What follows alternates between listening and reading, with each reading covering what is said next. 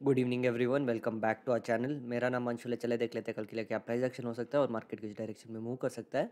सबसे पहले देख लेते हैं निफ्टी आज निफ्टी में एक गैप अप ओपनिंग फिर से देखने को मिला था और इमीडिएटली स्टार्टिंग के दो तीन कैंडल में एक सेल ऑफ़ आया और कहीं ना कहीं अगर हम निफ्टी पे निफ्टी को देखते हैं, कल के दिन के जैसे ही एक सपोर्ट लेता हुआ गैप क्लोज भी किया था, आज गैप सपोर्ट लेता हुआ एक रिवर्सल दिया पर ये कंटिन्यू नहीं कर पाया और जो एक ट्वेंटी टू फोर हंड्रेड का जो एक रेजिस्टेंस लेवल था इसी लेवल के आसपास एक रेजिस्टेंस लेके फिर से अगर हम लास्ट का क्लोजिंग भी देखते हैं तो एक बेरिश क्लोजिंग दिया है। अगर हम निफ्टी का वाई देखते हैं तो ट्वेंटी टू फोर हंड्रेड पर अभी भी एक स्ट्रॉन्ग कॉल रेटिंग देखने को मिल रहा है to twenty two five hundred पे भी एक मेजर कॉल रेटिंग देखने को मिल रहा है। अगर डाउन साइड देखते हैं तो ट्वेंटी टू थ्री हंड्रेड और ट्वेंटी टू टू हंड्रेड पे अच्छा खासा पुट रेटिंग के साथ एक सपोर्ट लेवल देखने को मिल रहा है, एक major put rating twenty two thousand जो एक राउंड लेवल है, ये लेवल पे देखने को मिल रहा है। अगर हम चार्ट पे वापस आते हैं तो एक चांस ये है कि क्योंकि आज का क्लोजिंग एक बेरिश क्लोजिंग था, एक निफ्टी एक गैप डाउन ओपनिंग दे जहाँ पे एक सेल ऑफ़ आए और कहीं ना कहीं ये जो twenty two one sixty two hundred के पास जो एक गैप है, ये गैप क्लोज करके एक स्ट्रॉन्ग सपोर्ट बनाता हुआ एक रिवर्सल दे सकता है, जहाँ पे हमने अभी देखा कि ट्वेंटी टू टू हंड्रेड पे एक अच्छा खासा पुट रेटिंग है। अगर निफ्टी ऊपर की साइड जाता है फ्लैट खुल के, या फिर डायरेक्टली ये जो ट्वेंटी टू फोर हंड्रेड का जो रेजिस्टेंस है, इसको एक स्ट्रॉन्ग मोमेंटम के साथ ब्रेक करता है तो मल्टीपल स्टॉप लॉसेज हिट हो सकते हैं और एक रैली देखने को मिल सकता है, जहाँ पे अगला रेजिस्टेंस जो एक राउंड लेवल है प्लस एक जो गैप है ट्वेंटी टू फाइव हंड्रेड का, ये लेवल एक मेजर रेजिस्टेंस जैसे बिहेव करेगा।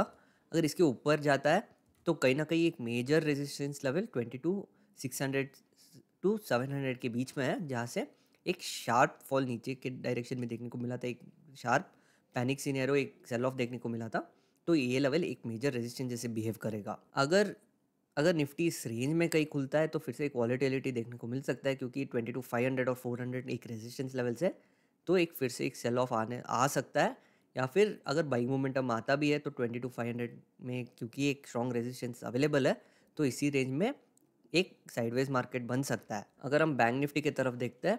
तो बैंक निफ्टी में भी एक सेल ऑफ़ आया था, एक स्ट्रॉन्ग सेल ऑफ़ आया था, और जब निफ्टी ने एक रिवर्सल भी दिया था, ये नहीं रिवर्स कर पाया जहाँ पे गैप क्लोज करके पूरा दिन एक साइडवेज या रेंज बाउंड था। अगर हम बैंक निफ्टी का वाई देखते हैं तो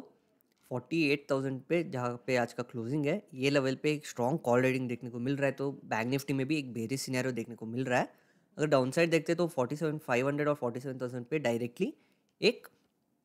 पुट रेटिंग देखने को मिल रहा है। और अगर हम चार्ट पे वापस आते हैं